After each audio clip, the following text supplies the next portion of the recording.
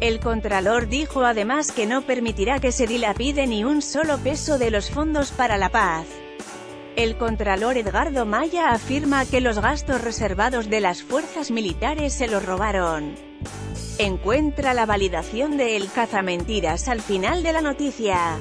5 de mayo del 2018, 11 de la noche.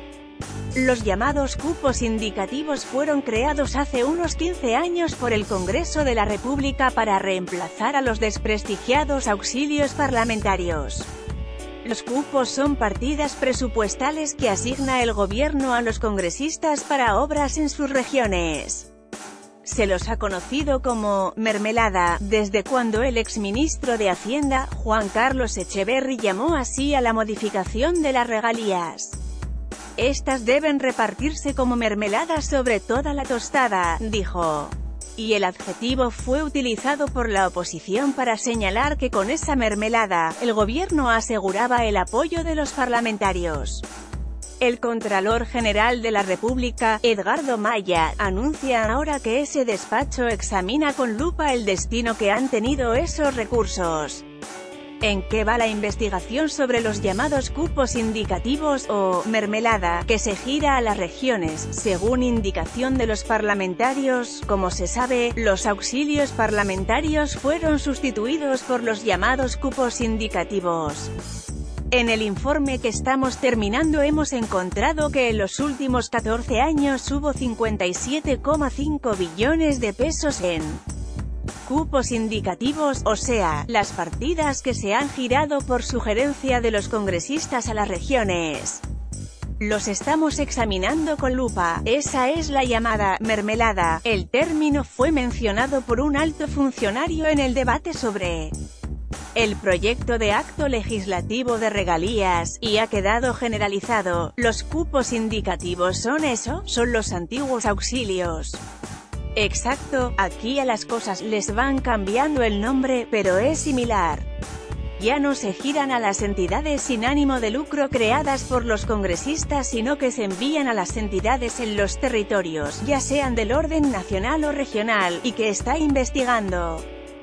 Vamos a entregar un informe al país sobre cómo se han asignado a las regiones en estos 14 años, o sea, desde el 2003 al 2017, los 56 billones de pesos de los famosos cupos.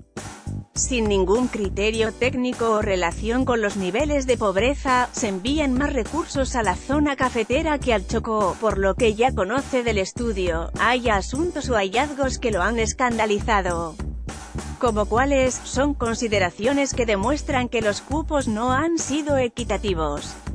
La investigación que adelanta que ha mostrado.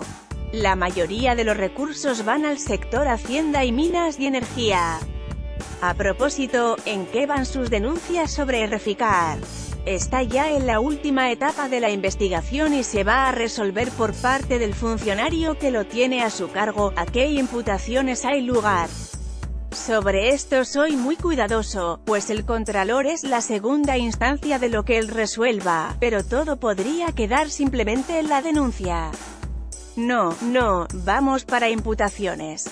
Creo que este mes sale eso, ¿cuál es su opinión sobre lo que sucedió en los fondos por la implementación del proceso de paz? Creo que ha sido oportuno que esto se haya conocido, mire, yo tuve una visita de quienes manejaron el proceso de Implementación en Irlanda con el IRA y llevan 5 ciclos de 7 años, van 35 años y no han terminado. Y nosotros queremos que aquí en el primer año ya esté todo resuelto, que ya esté todo el proceso de la justicia especial para la paz JEP, funcionando, queremos que estén habilitadas todas las zonas rurales, que estén hechas todas las inversiones. No queremos entender que todo esto es un proceso que tiene su desarrollo. Considero, como Contralor General de la República, que han sido oportunas las denuncias porque es un campanazo para que se corrijan, al arranque, las fallas. Considero, como Contralor General de la República, que han sido oportunas las denuncias porque es un campanazo para que se corrijan, al arranque, las fallas. La Contraloría ofició en el mes de marzo pidiendo la información sobre los cinco grandes fondos. Deme un ejemplo, yo le pongo un caso concreto, en la JEP, de la ayuda internacional en seis meses se gastaron 4,5 millones de dólares. ¿Se gastaron en qué? Se gastaron en la adecuación, en la instalación, en la puesta en funcionamiento, en 168 contratos. Sobre eso sí quiero decirle una cosa muy clara y quiero ser preciso en este reportaje, donde haya dineros, vengan de donde vengan, sea la ayuda de un país, de una organización internacional que manejen servidores públicos y que estén invertidos en desarrollo de políticas públicas, nosotros vamos a vigilar, ese es el acuerdo entre el Contralor, el Procurador y el Fiscal. Vamos a vigilar eso, que no vayan a salir ahora con que no, que esos dineros son ayudas internacionales que no se pueden vigilar ni auditar. Eso es inaceptable, ya hay auditoría. Ya se inició en marzo nuestra auditoría, hay una investigación disciplinaria en la Procuraduría, una investigación penal en la Fiscalía sobre esos recursos, estamos totalmente coordinados, totalmente integradas las tres instituciones. Nosotros no seremos complacientes, vamos a ser exterminantes en la investigación, porque llama el escándalo como voz de alerta, a mí me parece eso que antes de que las cosas lleguen a mayores males como ocurrió con Reficar, que nos damos cuenta cuando finalizan la obra. Tiene que haber correctivos sobre las circunstancias que se han denunciado en el manejo de estos fondos. Usted adelanta investigación sobre este tema. Sí, sobre todos los fondos hay una auditoría en desarrollo. La ley creó una unidad especial sobre la paz para la Contraloría y, además, la estamos haciendo con las otras delegadas de la Contraloría que tienen que ver con estos temas, y en qué van las denuncias sobre los programas de alimentación escolar, PAE, seguimos en la lucha, defendiendo a esos 8 millones de niños conjuntamente con Fiscalía y Procuraduría, en los 17 departamentos donde se han detectado hallazgos, hay que modificar el sistema. Hay que modificar el tema del manejo por parte del Ministerio de Educación, de la vigilancia del Ministerio de Educación. Desde mi concepto, creo que funcionaba mejor cuando estaba en cabeza del bienestar familiar, el ministerio tomó el manejo de este programa de alimentación escolar sin la experiencia, sin la infraestructura, y eso ha tenido inconvenientes, y además tenemos un problema en Colombia y es el tema de la condición humana. Podemos hacer todos los cambios que queramos pero si los servidores públicos no cumplen con su deber en este país, no podemos salir de la situación de corrupción en que estamos. No olvide lo que dijo Darío Echandía, que el subdesarrollo es un problema ante todo mental. Sobre el tema de corrupción, será útil el referendo que se propone toda iniciativa, a pesar de que hay unos temas que son reiterados. Pero, si hay un referendo contra la corrupción, ¿quién va a votar en contra? Pues, nadie va a votar en contra de eso, pero fíjese que votaron en contra de la paz. Este es un país de impredecibles, por eso los resultados electorales nadie los puede predecir. Eso dijo Germán Vargas, ahí no me meto, pero digo que todo es impredecible en este país. ¿Quién pensó que eso iba a terminar como terminó? Siguiente tema. Los gastos reservados de las fuerzas militares, hay un juicio de responsabilidad fiscal en el Atlántico, por 4.000 millones de pesos por irregularidades de unos mandos medios. Está bajo reserva, pero se han descubierto irregularidades, sí, claro. Es un juicio con responsables, contra miembros de la fuerza pública que incurrían en conductas irregulares, y estamos estableciendo y precisando la responsabilidad de ellos para establecer el daño fiscal.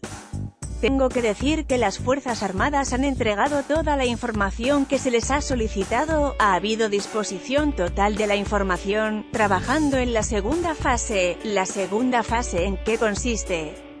Es la investigación en otras regiones en donde se ejecutaban gastos reservados, en gastos reservados que se perdieron. Sí, se lo robaron, hicieron mal uso, aquí todo se lo roban, aquí pérdida es sinónimo de robo, ¿en qué consisten sus quejas sobre las regalías? Las regalías directas en el Sistema General de Regalías desde el 2011 a la fecha valen 30,5 billones de pesos que se han entregado a todos los departamentos y a todos los municipios. ¿Qué ha sucedido? En vez de priorizar la inversión de esos recursos, se han atomizado. Esos 30,5 billones han terminado en 12.000 proyectos, lo que da un promedio de 2,5 millones de pesos por proyecto, lo que es muy grave. Mi propuesta es una modificación de fondo al sistema de regalías para que se establezca una priorización de las inversiones. Pero eso está establecido. Solo se puede invertir en salud, educación y saneamiento básico, es decir, acueductos y alcantarillado. Esa norma es general, lo que necesitamos es una norma que priorice la inversión.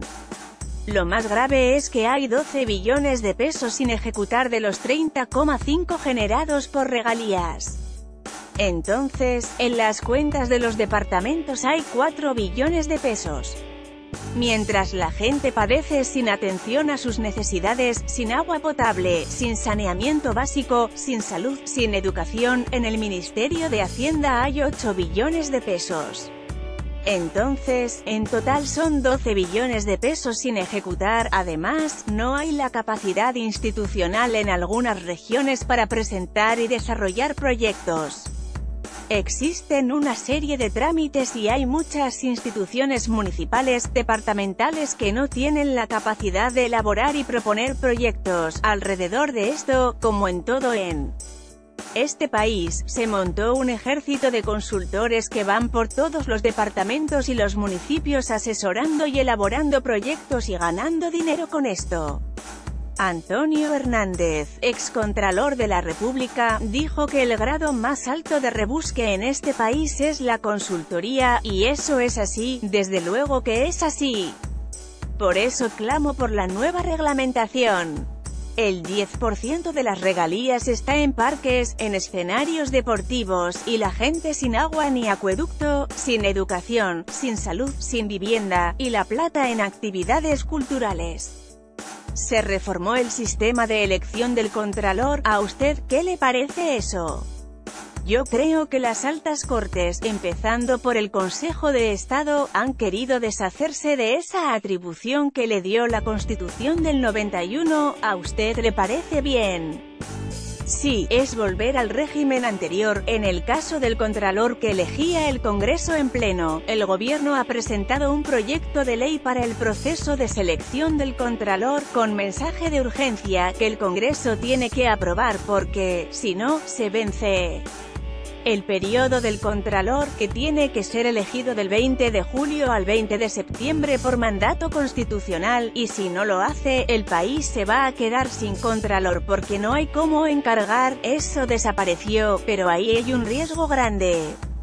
Un alto riesgo. El periodo mío se termina el 5 de septiembre, entonces, a partir de ahí no habría Contralor si no se aprueba la ley termina el 5 de septiembre, y a partir de ahí usted, ¿qué va a hacer? A mi vida privada. Pero yo no he sido ajeno a la cosa pública, y lo seguirá siendo, es posible. Es decir, seguirá en la vida pública. Sí, mientras sea útil para prestarle el servicio al país, es posible. Usted fue procurador, magistrado, contralor, le falta candidatura presidencial, esperemos. El tiempo dirá lo que voy a hacer. Yo soy un hombre sin afanes, pero tiene eso en su mente. Mi proyecto ahora es terminar bien mi Contraloría. Sí, pero pregunto a partir del 6 de septiembre, el 6 de septiembre nos tomamos un café y hablamos sobre su candidatura presidencial. No, hablamos, y a mi especial para el tiempo sigue bajando para encontrar más contenido.